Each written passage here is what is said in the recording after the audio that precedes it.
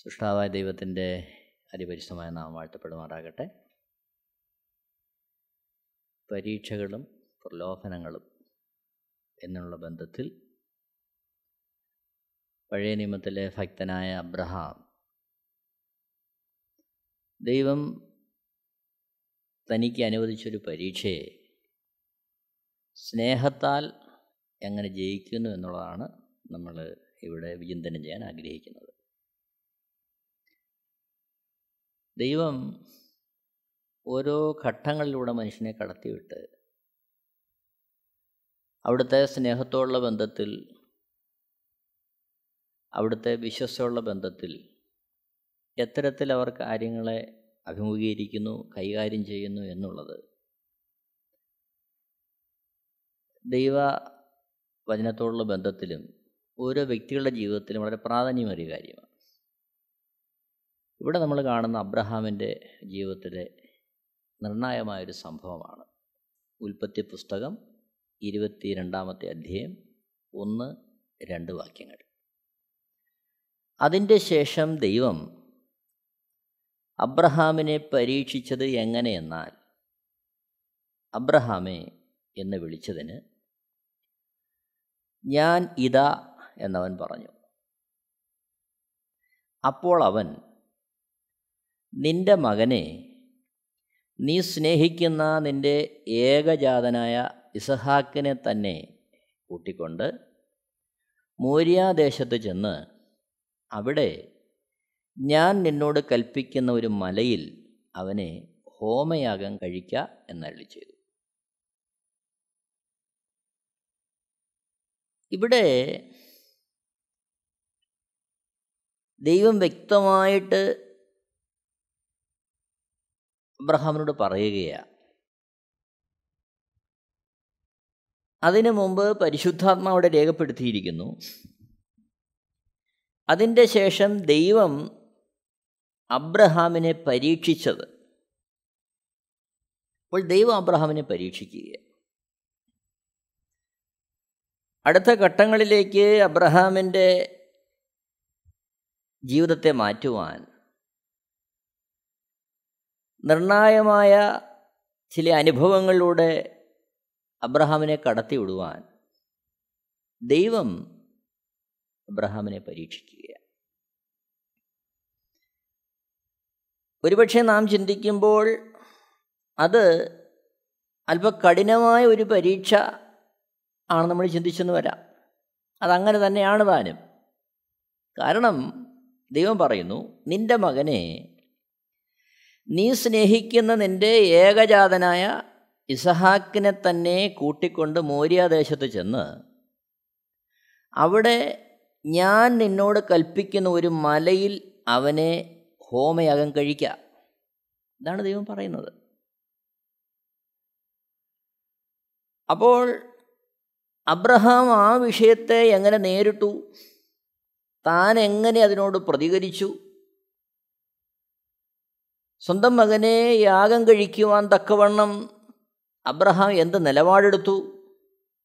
ഇതൊക്കെ ഇവിടെ നാം മനസ്സിലാക്കേണ്ടുന്ന വിചിന്തനം ചെയ്യേണ്ടുന്ന കാര്യങ്ങളാണ്. അബ്രഹാമിന്റെ ജീവിതത്തിൽ തന്റെ വാഗ്ദത്തങ്ങളുടെ പൂർണത മുഴുവൻ ഇസ്ഹാക്കിനെ കേന്ദ്രീകരിച്ച കാരണം ഇസഹാക്ക് ഇല്ലാതായാൽ അബ്രഹാമിനോടുള്ള ബന്ധത്തിൽ ദൈവം പറഞ്ഞിട്ടുള്ള എല്ലാ വാഗ്ദത്തങ്ങളും അതോടെ ഇല്ലാതാകുകയാണ് ഒരുപക്ഷേ ഇത് ദൈവം തന്നെയാണോ അരുളി ചെയ്തതെന്ന് ആരായുവാനുള്ള സാധ്യത അബ്രഹാമിന്റെ മുമ്പിലുണ്ട്. കാരണം ദൈവം വ്യക്തമായി അബ്രഹാമിനുള്ള വാഗ്ദത്തങ്ങളെ മുഴുവൻ സഫലമാക്കുവാൻ നൽകപ്പെട്ടിരിക്കുന്ന ഇസഹാക്ക.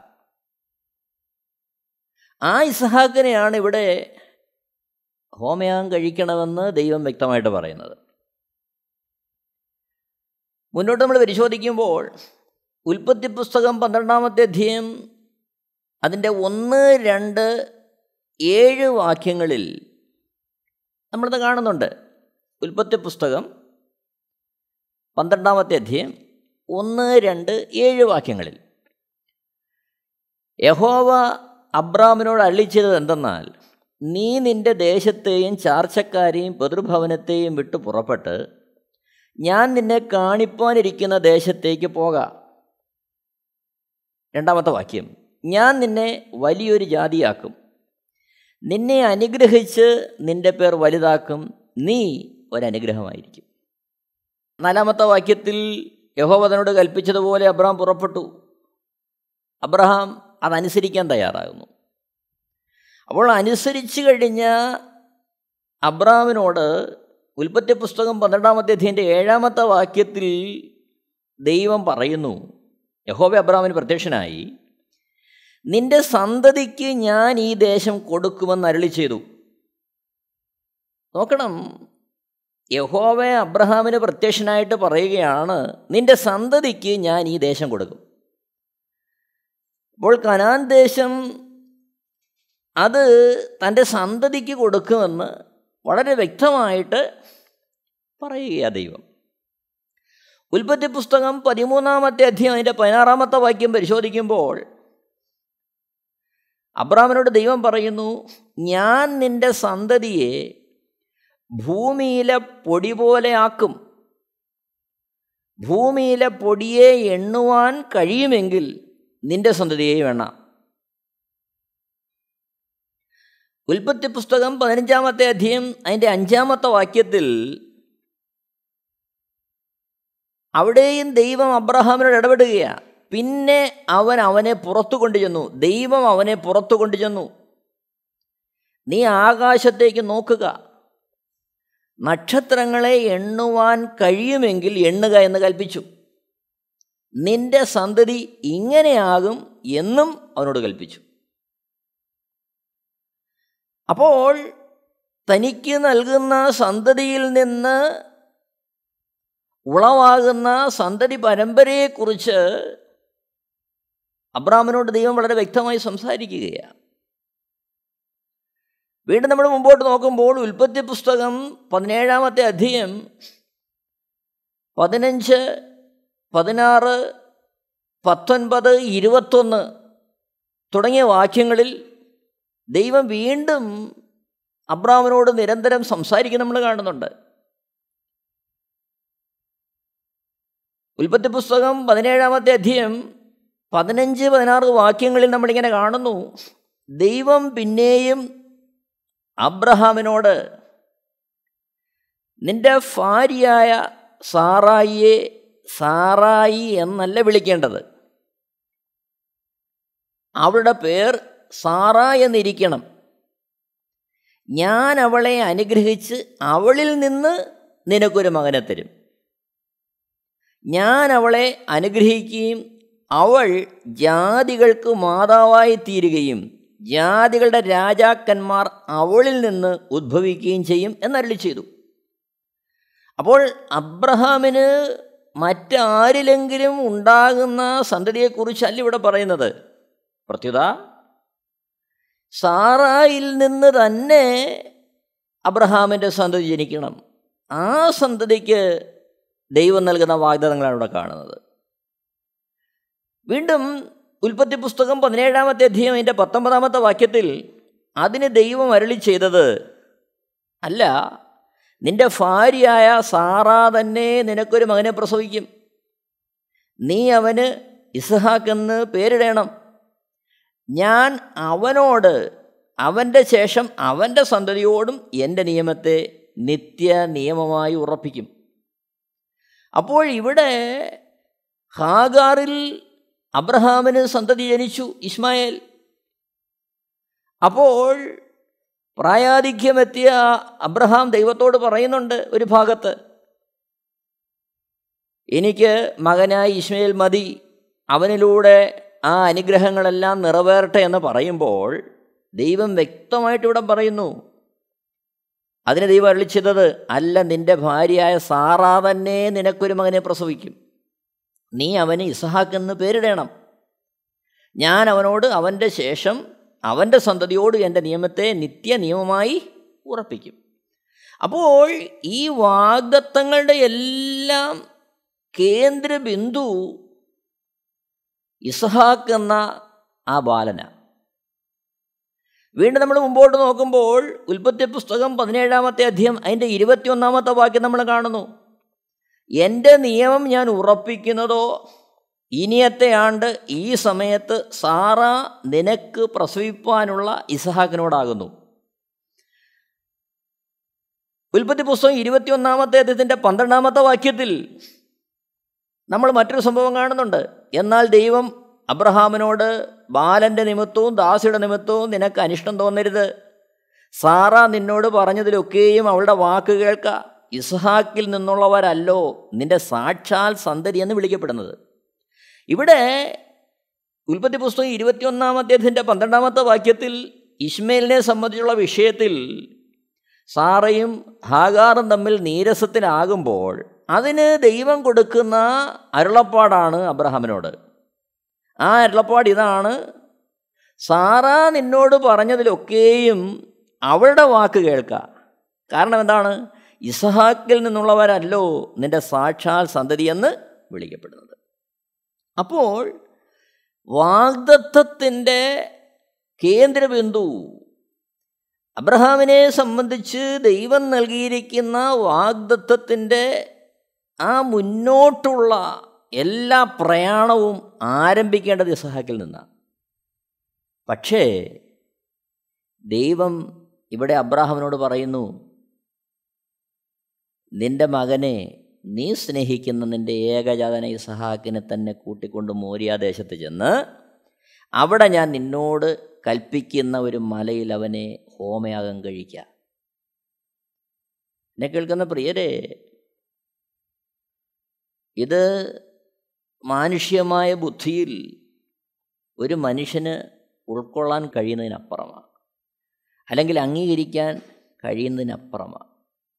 എന്നാൽ ദൈവത്തിന്റെ ശബ്ദം കേട്ട് ദൈവത്തിന്റെ വഴികളിൽ നടന്ന അബ്രഹാം തന്നോട് ദൈവം ആ കൽപ്പിച്ച ആ കൽപ്പന മറ്റൊരർത്ഥത്തിൽ ആ പരീക്ഷ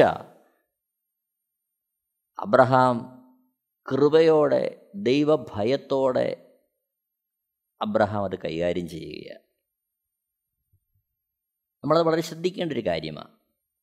അപ്പോൾ ദൈവം അബ്രഹാമിനെ പരീക്ഷിക്കുന്നു. ആ പരീക്ഷ അബ്രഹാം അത് കൈകാര്യം ചെയ്യാൻ തുടങ്ങുകയാണ്.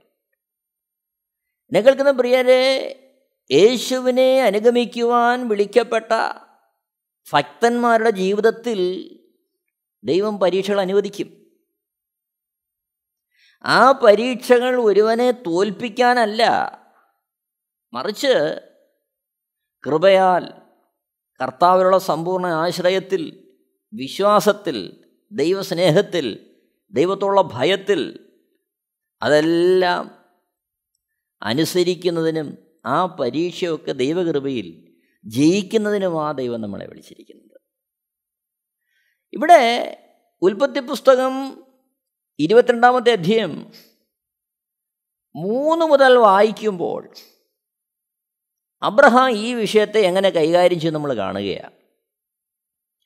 മൂന്നാമത്തെ വാക്യം നമ്മൾ കാണുന്നു അബ്രഹാം അധികാലത്തെഴുന്നേറ്റ് കഴുതയ്ക്ക് കോപ്പിട്ട് കെട്ടി ബാല്യക്കാരിൽ രണ്ടുപേരെയും തന്റെ മകൻ ഇസഹാക്കിനെയും കൂട്ടി ഹോമയാഗത്തിന് വിറക് കീറി എടുത്തും കൊണ്ട് പുറപ്പെട്ടു. ദൈവം തന്നോട് കൽപ്പിച്ച സ്ഥലത്തേക്ക് പോയി. അവിടെ അധികാലത്ത് എഴുന്നേറ്റ്.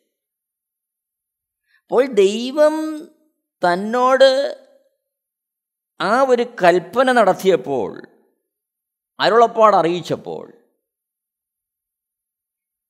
അത് സത്യമാണോ? ഇത്രത്തോളം വാഗ്ദത്തങ്ങൾ ഈ ഇസഹാക്കിനെ പ്രതി ലഭിച്ചതാണല്ലോ തന്നതാണല്ലോ ദൈവമേ. ഇനി അങ്ങ് തന്നെയാണോ എന്നോട് പറയുന്നത്? മറിച്ച് ഇതിനൊരു നീക്കുപോക്ക് എന്തെങ്കിലും ഉണ്ടോ? വേറെ എന്തെങ്കിലും കാര്യങ്ങൾ ചെയ്താൽ ഇതിന്റെ പരിഹാരമാകുമോ? ഇതൊന്നും ആരായുവാനോ ആ ഭാഗത്തേക്ക് ചിന്തിക്കുവാനോ അബ്രഹാം തുനിയുന്നില്ല. പ്രത്യുത അബ്രഹാം ചെയ്യുന്ന കാര്യം അധികാലത്തെഴുന്നേറ്റ് കഴുതയ്ക്ക് കോപ്പിട്ട് കെട്ടി ബാല്യക്കാർ രണ്ടുപേരെയും തന്റെ മകൻ ഇസഹാക്കിനെയും കൂട്ടി ഹോമയാഗത്തിന് വിറക് കീറി എടുത്തും കൊണ്ട് പുറപ്പെട്ടു. ദൈവം തന്നോട് കൽപ്പിച്ച സ്ഥലത്തേക്ക് പോയി.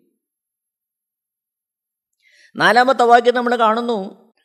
മൂന്നാം ദിവസം അബ്രഹാം നോക്കി ദൂരത്ത് നിന്ന് ആ സ്ഥലം കണ്ടു. അപ്പോൾ ദൈവം ഒരു വേള ഏതെങ്കിലും ഒരു ദർശനത്തിൽ അബ്രഹാമിന് ആ മലയെക്കുറിച്ചുള്ള ആ വ്യക്തമായ ചിത്രം കൊടുത്തു കാണും.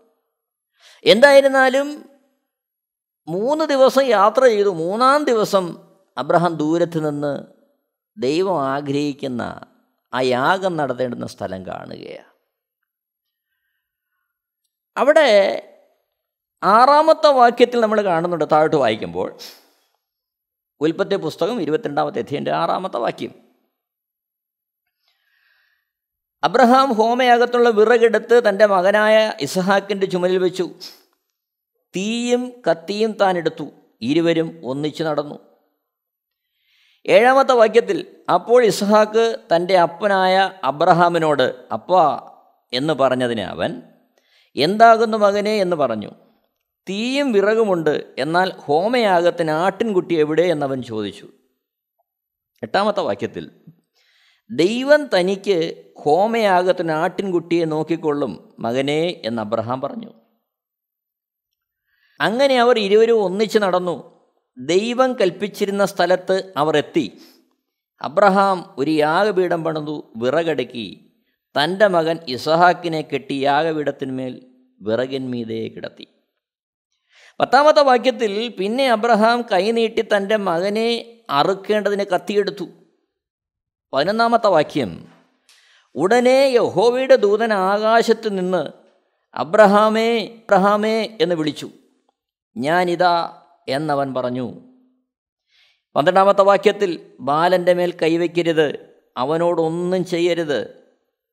നിന്റെ ഏകജാതനായ മകനെ തരുവാൻ നീ മടിക്കായ കൊണ്ട് നീ ദൈവത്തെ ഭയപ്പെടുന്നു എന്ന് ഞാൻ ഇപ്പോൾ അറിയുന്നു എന്നവൻ ചെയ്തു. അപ്പോൾ ഇവിടെ ഒരു തരത്തിലും ആ യാഗം മുടങ്ങരുതെന്ന് കരുതി.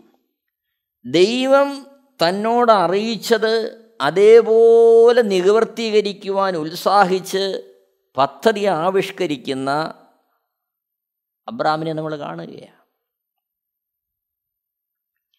കാരണം ദൈവത്തെ അതേപടി അനുസരിക്കുവാൻ. ബാലനെ യാഗപീഠത്തിലേക്ക് കിടത്തി അവനെ അറുക്കുവാൻ തക്കവണ്ണം കൈനീട്ടി ആ സമയത്ത് യഹോവയുടെ ദൂതൻ ആകാശം നിന്ന് വിളിക്കുകയാണ് പന്ത്രണ്ടാമത്തെ വാക്യത്തിൽ നമ്മൾ അതാ കാണുന്നത്. അതേ കാര്യം വീണ്ടും പരിശുദ്ധാത്മാവ് ആവർത്തിക്കുന്നുണ്ട്. നാം മുമ്പോട്ട് വരുമ്പോൾ പതിനഞ്ചാമത്തെ വാക്യത്തിൽ കാണുന്നു. യഹോവയുടെ ദൂതൻ രണ്ടാമതും ആകാശത്ത് നിന്ന് അബ്രഹാമിനോട് വിളിച്ചരുളി ചെയ്തത്. പതിനാറാമത്തെ വാക്യം. നീ ഈ കാര്യം ചെയ്തു. നിന്റെ ഏകജാതനായ മകനെ തരുവാൻ മടിക്കായ കൊണ്ട് ഞാൻ നിന്നെ ഐശ്വര്യമായി അനുഗ്രഹിക്കും. അവിടെ പതിനാറാമത്തെ വാക്യത്തിൽ ദൈവത്തിന്റെ ആത്മാവ് വ്യക്തമായി രേഖപ്പെടുത്തിയിരിക്കുന്നത് നിന്റെ ഏകജാതനായ മകനെ തരുവാൻ മടിക്കായ കൊണ്ട് അപ്പോൾ യാഗം കഴിക്കുവാൻ തക്കവണ്ണം ദൈവത്തിന്റെ അരുളപ്പാട് ലഭിച്ചപ്പോൾ യഥാർത്ഥത്തിൽ അബ്രഹാമിന്റെ ഹൃദയത്തിൽ മകൻ യാഗമായി കഴിഞ്ഞു. മൂന്ന് ദിവസത്തേക്കുള്ള വഴിയാത്രയിൽ ഒരു വേള ദൈവത്തിന്റെ മുമ്പാകെ തന്റെ മകനെ അതേ അർത്ഥത്തിൽ അർപ്പിക്കുവാൻ തക്കമുള്ള ഒരുക്കം അബ്രഹാം തന്റെ ഹൃദയത്തിലും ആ മകനുള്ള ബന്ധത്തിൽ നടത്തി കാണും. കാരണം ഈ ദിവസത്തിലെ യാത്രയിൽ ഒരു വേള പല കാര്യങ്ങൾ ഈ വാഗ്ദത്വത്തിന്റെ കേന്ദ്രം മുഴുവൻ ഇസഹാക്കാണല്ലോ എന്നോർത്ത് തിരിഞ്ഞു വരുവാനുള്ള സമയമുണ്ട്. എന്നാൽ ആ എല്ലാ സാധ്യതകളെയും അബ്രഹാം ഒഴിവാക്കുകയാണ്. ചുരുക്കത്തിൽ ദൈവത്തിന്റെ ആ ശബ്ദം കേട്ടു. ദൈവത്തിന്റെ ആ കൽപ്പന കേട്ടപ്പോൾ തന്നെ അബ്രഹാം തന്റെ ജീവിതത്തിൽ തന്റെ ഹൃദയത്തിൽ ഒരു നിർണയമെടുത്തു. ദൈവം തന്ന ആ ദാനമായ മകനെ ഞാൻ ദൈവത്തിന്റെ കരങ്ങളിലേക്ക് തന്നെ കൊടുക്കുകയാണ്. അതുകൊണ്ടാണ് പതിനാറാമത്തെ വാക്യം നമ്മളത് കാണുന്നത്. നിന്റെ ഏകജാതനായ മകനെ തരുവാൻ മടിക്കായ കൊണ്ട് അപ്പോൾ അബ്രഹാം ദൈവത്തിന് തന്റെ മകനെ കൊടുത്തു. പതിനേഴാമത്തെ വാക്യത്തിൽ കാണുന്നു ഞാൻ നിന്നെ ഐശ്വര്യമായി അനുഗ്രഹിക്കും. നിന്റെ സന്തതിയെ ആകാശത്തിലെ നക്ഷത്രങ്ങൾ പോലെയും കടൽക്കരയിലെ മണൽ പോലെയും അത്യന്തം വർദ്ധിപ്പിക്കും. നിന്റെ സന്തതി ശത്രുക്കളുടെ പട്ടണങ്ങളെ കൈവശമാക്കും. പതിനെട്ടാമത്തെ വാക്യത്തിൽ നമ്മൾ കാണുകയാണ് ഏറ്റവും ശ്രേഷ്ഠമായ ഒരു വാക്യം. നീ എന്റെ വാക്കനുസരിച്ചതുകൊണ്ട് നിന്റെ സന്തതി മുഖാന്തരം ഭൂമിയിലുള്ള സകല ജാതികളും അനുഗ്രഹിക്കപ്പെടും എന്ന് ഞാൻ എന്നെക്കൊണ്ട് തന്നെ സത്യം ചെയ്തിരിക്കുന്നു എന്ന് ഹോവേരളി ചെയ്യുന്നു. എത്ര മനോഹരമായ ദൈവത്തിന്റെ വാക്കുകളാണ് ഇവിടെ കാണുന്നത്. പതിനെട്ടാമത്തെ വാക്യം. അപ്പോൾ ദൈവത്തിന്റെ വാക്ക് കേട്ട് അതേപടി അനുസരിച്ച അബ്രഹാമിന്റെ ജീവിതത്തിൽ ദൈവം വാഗ്ദത്തം കൊടുക്കുന്നു.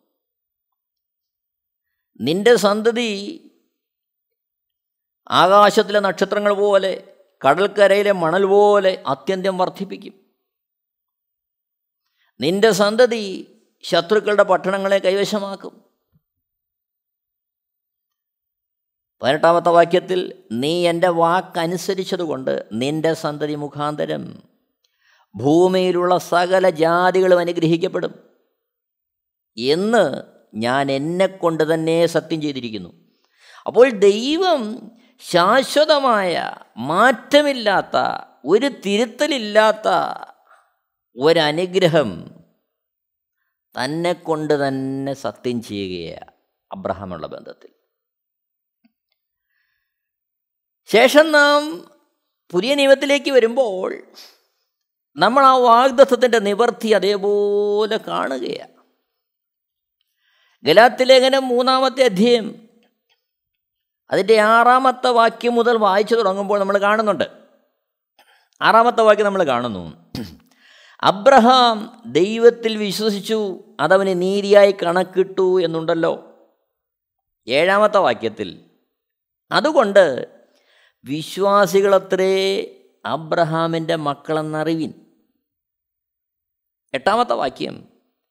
എന്നാൽ ദൈവം വിശ്വാസം മൂലം ജാതികളെ നീതീകരിക്കുന്നു എന്ന് തിരുവെഴുത്ത് മുൻകണ്ടിട്ട് നിന്നിൽ സകല ജാതികളും അനുഗ്രഹിക്കപ്പെടും എന്നുള്ള സുവിശേഷം അബ്രഹാമിനോട് മുൻകൂട്ടി അറിയിച്ചു. നമ്മളിത് കാണുക അവിടെ. ഉൽപ്പത്തി പുസ്തകം ഇരുപത്തിരണ്ടാം അദ്ദേഹത്തിന്റെ പതിനെട്ടാമത്തെ വാക്യത്തിൽ. നോക്കണം ഒമ്പതാമത്തെ വാക്യം. അങ്ങനെ വിശ്വാസികൾ വിശ്വാസിയായ അബ്രഹാമിനോട് കൂടെ അനുഗ്രഹിക്കപ്പെടുന്നു. ശേഷം താഴോട്ട് വരുമ്പോൾ പതിനാലാമത്തെ വാക്യത്തിൽ നമ്മൾ കാണുന്നുണ്ട് അബ്രഹാമിന്റെ അനുഗ്രഹം ക്രിസ്തു യേശുവിൽ ജാതികൾക്ക് വരേണ്ടതിന് നാം ആത്മാവെന്ന വാഗ്ദത്ത വിഷയം വിശ്വാസത്താൽ പ്രാപിപ്പാൻ തന്നെ.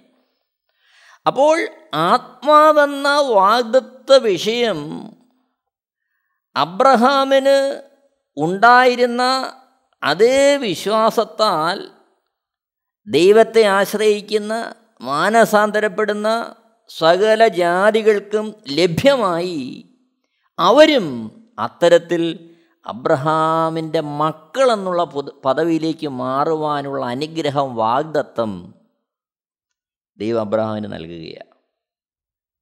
താഴോട്ട് വായിക്കുമ്പോൾ വളരെ മനോഹരമായ ഒരു പ്രസ്താവന പരിശുദ്ധാത്മാവിടെ രേഖപ്പെടുത്തിയിട്ടുണ്ട്. ഗലാത്തി ലേഖനം മൂന്നാമത്തെ അധ്യയം അതിന്റെ പതിനാറാമത്തെ വാക്യം.